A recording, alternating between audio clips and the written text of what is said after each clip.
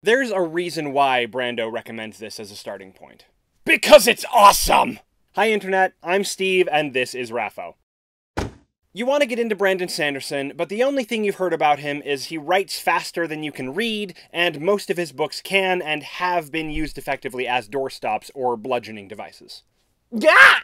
Have I got the book for you? Meet The Emperor's Soul winner of the 2013 Hugo Award for Best Novella, so it's good. It's about a woman who is imprisoned and forced to use her magical talent to recreate the soul of the Empire's ruler. At less than 180 pages, you might be able to read this in a day. Great way to spend an afternoon.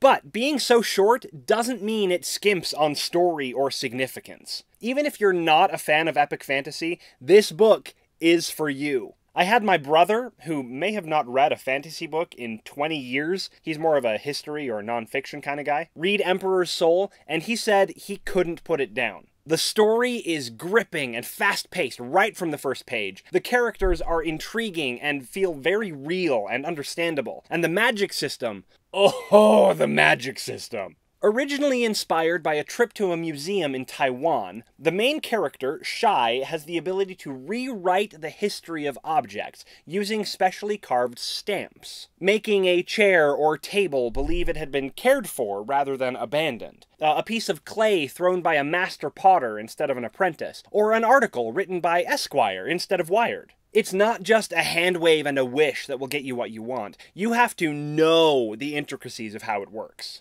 Basically, if computer programmers could do magic, who says they can't? This is that. Nested statements, if then qualifications, status checks, definitions, and numerical relationships, etc. I'm not sure if you can comment something out with a soul stamp or AonDor, but it wouldn't surprise me. This also has one of the best explanations of realmatic theory. Basically, E equals mc squared plus magic, the underlying system for the entire Cosmere, told in a very understandable and relatable way. The entire book is deeply philosophical, asking questions about the nature of art and creation, the value of individuals, and the profound impact small decisions can have on your life and the lives of others. Speaking of, thank you to my supporters on Patreon, specifically Doug and Matt. And Steve! For making small decisions that have profoundly impacted my life. I really appreciate all of your support. The Emperor's Soul is absolutely one of my favorite books by Brandon Sanderson, a category which admittedly includes a significant percentage of all of his work. I've seen a lot of booktubers do tier lists, and it's solidly S tier for me. Should I do a tier list of the Cosmere? Let me know in the comments. Probably have to wait until the year of Sanderson is over, what with all the content I already have planned. Next Friday, we'll be diving into everything we know about Secret Project 3, which I cannot wait to read and find out.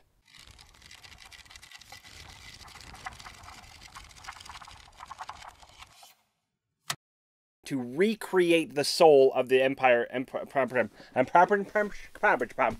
Emperor's Cabbage Patch.